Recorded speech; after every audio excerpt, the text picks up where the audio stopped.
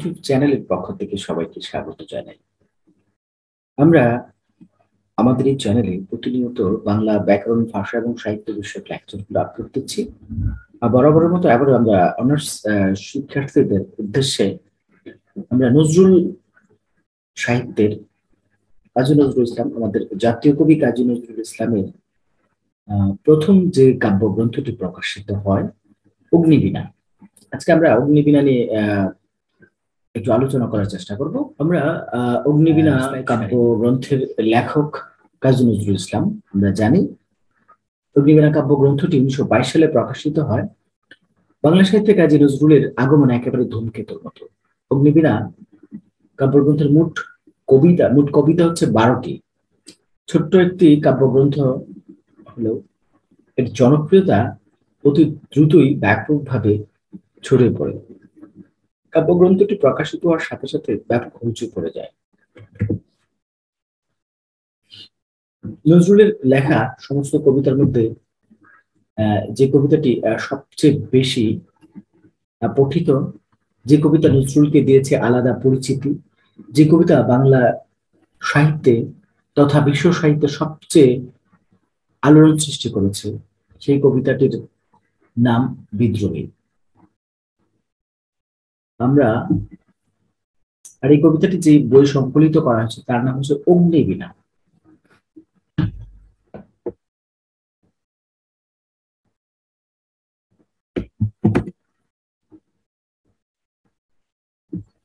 আমরা এগুলোকে কিছুটা হাইলাইট করে দেখাতে পারি। আর বিদ্রোহী কবিতাটা সবচেয়ে বেশি আলোচিত এবং সেই বিদ্রোহী কবিতাটি অগ্নিবীণা কাব্যগ্রন্থের সংকলন। উনিশশো বাইশ সালে মাত্র তেইশ বছর বয়সে প্রকাশিত হয় তার অমর কাব্যগ্রন্থ অগ্নিবীণা।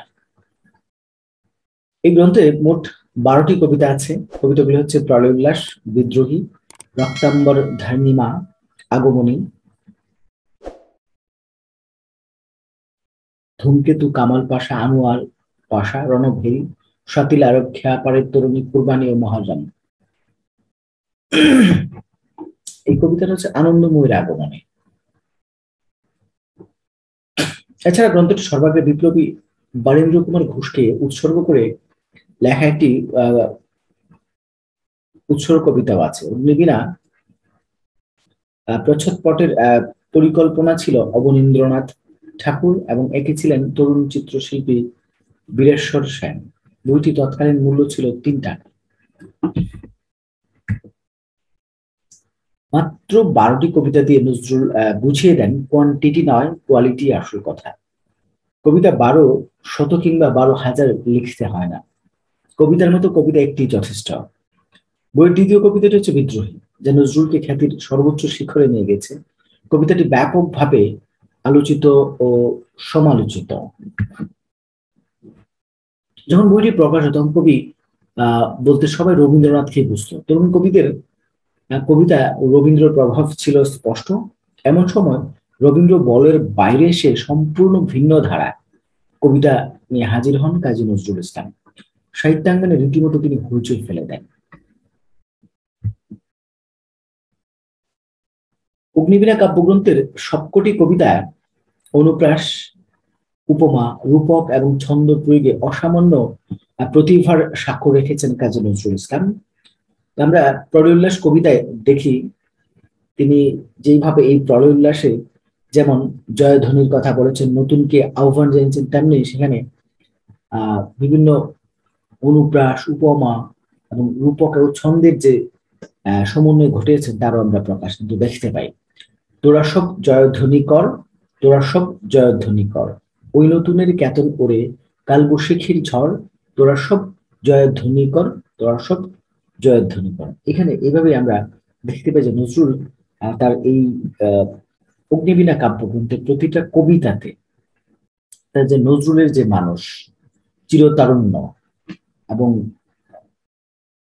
পাথর বাধাকে অতিক্রম করার যে দৃঢ় মনোবল মনোবল, আমরা কিন্তু সেই ব্যাপারটাকে দেখি। এবং নজরুল যে যৌবনকে আহ্বান জানিয়েছেন, যে নতুনকে আহ্বান জানিয়েছেন, সেই নতুনকেই দেখি। আবার সেখানে কালবৈশাখীর ঝড় ওই নতুনের ক্যাতন উড়ে কালবৈশাখীর ঝড় নতুনের পতাকাটাকে কিসের সাথে তুলনা করেছেন?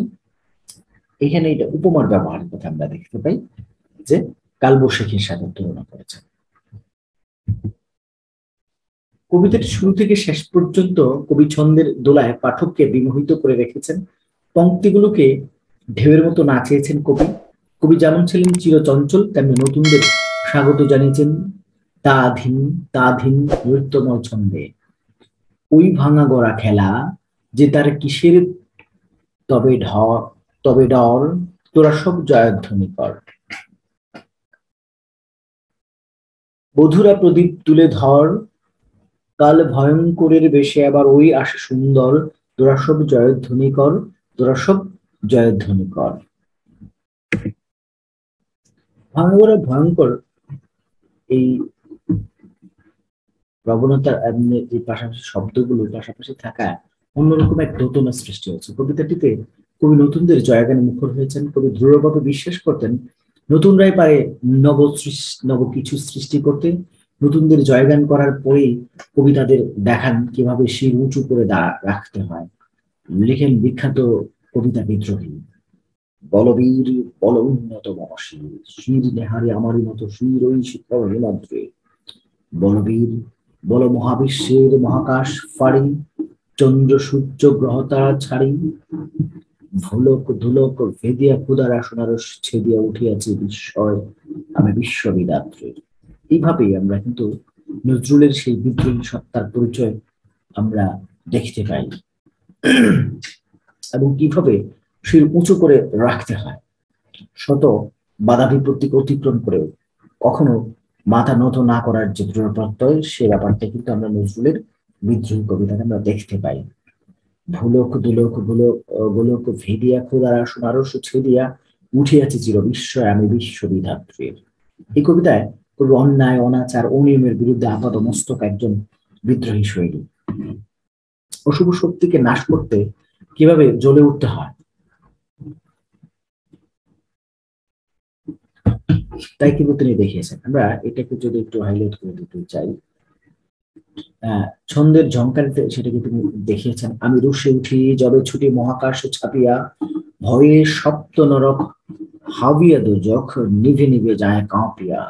আমি বিদ্রোহ আমি বিদ্রোহ বাহিনী নিখিল অখিল ব্যাপিয়া। এভাবে আমরা নজরুলকে বিভিন্ন ছন্দের ঝঙ্কারে এবং ছন্দর সমন্বয়ে এবং তার যে বিদ্রোহী আপাদমস্তক অন্যায়, অত্যাচার এবং অনিয়মের বিরুদ্ধে নজরুল যে সোচ্চার ছিলেন, আমরা কিন্তু সেই ব্যাপারটি লক্ষ্য করতে পারি। এজন্য চরম বিদ্রোহ, মুক্তির চূড়ান্ত গর্জন ধ্বংসের পর যেমন সবকিছু নতুন করে জেগে উঠে, কবিকেও তেমনি বিদ্রোহের পাশাপাশি দেখতে পাই প্রেমিক রূপে। কবি বলেন, আমি ইন্দ্রাণীর সুতো হাতে, চাঁদ ফালে সূর্য মম, এক হাতে বাঁকা বাঁশের বাঁশুরি, আর হাতে রণতুর্য এই যে কবি যে, আহ কবিতা আমরা একদিকে বিদ্রোহ একদিকে প্রেমিক। দুইটার যে সমন্বয়, সেটা কিন্তু আমরা তার এই অগ্নিবীণা কাব্যগ্রন্থের অন্যতম কবিতা, বিদ্রোহী কবিতাতে কিন্তু তাকে স্পষ্ট আমরা লক্ষ্য করি। আমি ইন্দ্রাণী সুতো হাতে, চাঁদ ফালে সূর্য, মম এক হাতে বাঁকা বাঁশের বাঁশুরি, আর হাতে রণতুর্য। অর্থাৎ এক হাতে যে রণতুর্য যুদ্ধের জন্য প্রস্তুত হয়ে আছে, আর আর এক হাতে বাঁকা বাঁশের বাঁশুরি অর্থাৎ তার ভিতরকার যে বিদ্রোহী সত্তার পাশাপাশি তার যে কোমল হৃদয় রয়েছে এবং সেটা প্রেমিক হৃদয়ের সন্ধান কিন্তু আমরা পাই। তবে কবির এই প্রেমিক রূপকে ছাপিয়ে বিদ্রোহী রূপই মুখ্য হয়ে উঠেছে কবিতায়। কবির এই বিদ্রোহে ঘুণে ধরা সমাজ, পুঁজিবাদী রাষ্ট্র তথা ধর্মীয় কুসংস্কারের বিরুদ্ধে কবির বিদ্রোহ থামবার নয়। যতদিন না অসুরের বিনাশ হয়, যতদিন না সত্যের বিজয় হয় নজরুল সৈনিক জীবন উপলব্ধি করতে শিখেছিলেন। প্রতিবাদ ছাড়া, যুদ্ধ ছাড়া কোনো কিছুই সহজে আদায় সম্ভব নয়। ঘুমিয়ে থাকলে প্রভুশ্রণী চাইবে আরও ঘুমা তাই নজরুল সবাইকে জাগ্রত করার জন্য কথার চাবুক ছুঁড়ে মেরেছেন।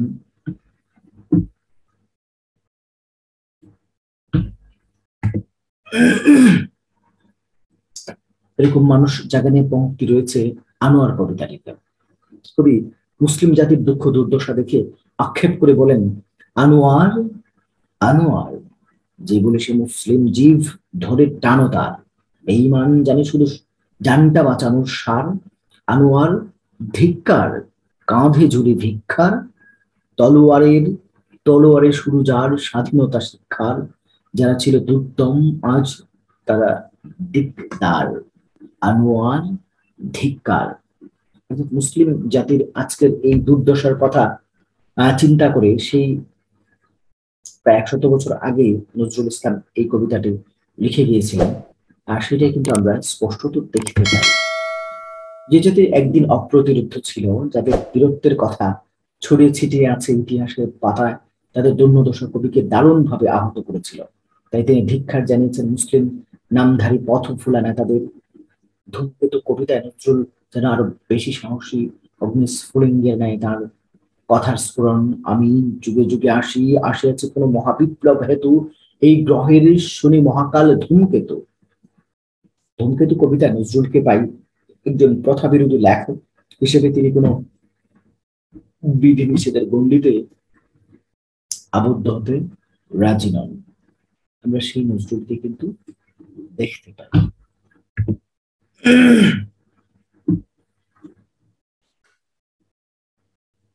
নজরুল অগ্নিবীণা বাংলা সাহিত্যের এক অমূল্য সম্পদ। উপযুক্ত শব্দ চয়নের মাধ্যমে অগ্নিবীণার প্রত্যেকটি কবিতায় ছন্দালঙ্কার এবং অর্থালঙ্কারের সার্থক প্রয়োগ ঘটিয়েছেন কবি নজরুল পঙ্ক্তি বিন্যাস ও মাত্রা চেতনা সচেতন ছিলেন। ছিলেন নিরীক্ষা প্রবণ, উপপর্ব, অনুপর্ব অনুপর্ব অসম দৈর্ঘ্যের পঙ্ক্তি। হ্যাঁ তাছাড়া হচ্ছে তিনি অর্থালঙ্কার এবং সব ছন্দালঙ্কার, অর্থালঙ্কারের সার্থক প্রয়োগ ঘটেছেন আহ পঙ্ক্তি ব্যবহার করে মধ্যম লয়ের মাত্রা বৃত্ত ছন্দের কবিতাগুলিকে অন্যরকমের কাঠামোতে দাঁড় করিয়েছেন। তিনি যা কিছু ধীরলয়ে পাঠ করতে হয় দাঁড় করেছেন তিনি। যা কিছু হচ্ছে ওই যে তার কবিতা মাত্রা বৃত্ত ছন্দের লয়ের মধ্যম লয়ের যেটা ধীরে পাঠ করতে হয়, সেরকম ভাবে তিনি কবিতাটি লিখেছেন। বিনাতে সুর উঠিয়ে গায়ক আনন্দের বিরহের গান কিন্তু নজরুল দেখালেন যে বিনাতে অগ্নিমাখা সুর তুলে জালিমের বুকে কাঁপন তোলা যায়। আমরা কিন্তু বিদ্রোহী কবিতাটা দেখি যে সেটা আবৃত্তি করলে এক সময় আমাদেরও রক্তে টকবক করে আগুন জ্বলতে থাকে। অগ্নিবীণা কাব্যগ্রন্থে মোট বারোটি কবিতা আছে। সবগুলো কবিতাই হিন্দু, মুসলিম ঐতিহ্য ভিত্তিক মুসলিম ঐতিহ্য নিয়ে মুসলিম লেখা কবিতাগুলো হচ্ছে কামাল পাশা, আনোয়ার পাশা রণফিরি, শাকিল আরব খেয়া পাড়ের তরুণী কুরবানি ও মহরম। হিন্দু হিন্দু ঐতিহ্য প্রধান কবিতাগুলো হচ্ছে, আহ, বিদ্রোহী ধূমকেতু, প্রলয় উল্লাস প্রলয় উল্লাস হবে।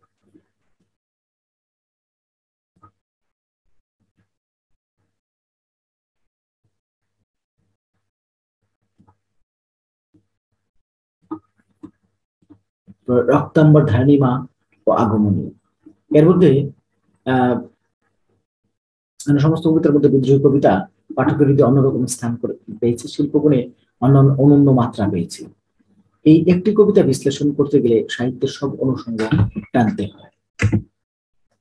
সাহিত্যের রস, গুণ, অলঙ্কারের প্রায় সব শাখা আলোচনা হয়ে যাবে। অনুপ্রাসের ছড়াছড়ি বিদ্রোহী কবিতা অত্যানুপ্রাস মধ্যানুপ্রাস আয়াধন নিয়ে খেলেছেন নজরুল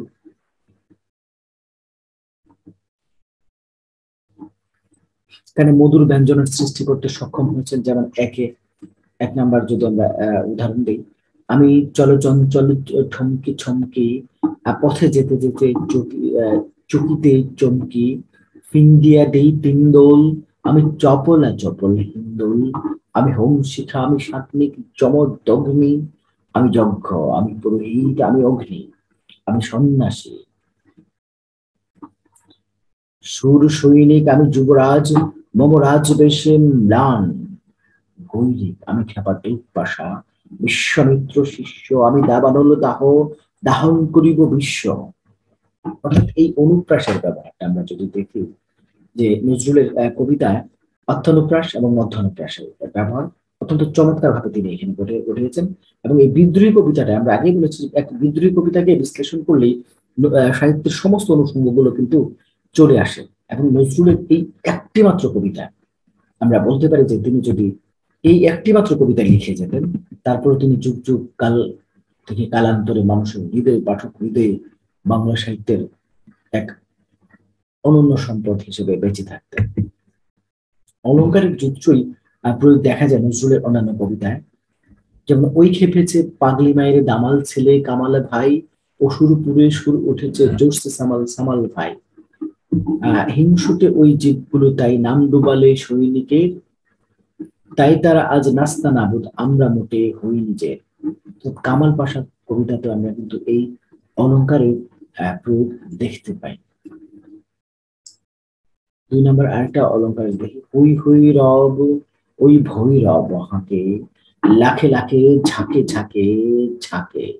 লাল বৈরিক গায়ে সৈনিকে ধায় তালে তালে ওই পালে পালে আগমনী কবিতাতে কিন্তু সেরকম অলঙ্কারের ব্যবহারটা দেখতে পাই। কবি নজরুল ভাবতেন মুক্তির জন্য ভারতের পূর্ণ স্বাধীনতা ছাড়া বিকল্প কোনো পথ নেই। ধূমকেতু পত্রিকায় স্বাধীনতার দাবি আগেই করেছিলেন ভারতবাসীকে স্বাধীনতার দাবি করতে উৎসাহিত করে গানে। এভাবে আমরা জানি সোজা কথা, পুনঃ স্বাধীন করব দেশ, এই দুলালাম বিজয় নিশান। মরতে আজি মরব শেষ ব্রিটিশ সরকার কর্তৃক নিষিদ্ধ আনন্দময়ীর আগমনে কবিতায়, আর কতকালে থাকবে বেটি মাটির ঢেলার মুক্তি আড়াল? স্বর্গ যে আজ জয় করেছে অত্যাচারী শক্তি চাড়াল। দেবশিশুদের মার্চ চাবক বীর যুবাদের দিচ্ছে ফাঁসি। ভূ ভারত আজ কসাইখানা, আসবে কখন সর্বনাশী অর্থাৎ এই কবিতাটা কিন্তু ব্রিটিশ সরকার কর্তৃক বাজেয়াপ্ত হয়েছিল। অর্থাৎ এই যে কবিতায় তিনি সমস্ত ভারতের স্বাধীনতার যে ডাক দিয়েছেন, তা কিন্তু আমরা অন্যান্য সমসাময়িক কবিদের লেখায় এরকম স্পষ্ট ভাবে আমরা কিন্তু দেখতে পাই। নজরুল কিন্তু সেই তার সাহসিকতার পরিচয় আমরা তার সাহিত্যের নানান ভাবে আমরা কিন্তু দেখতে পাই।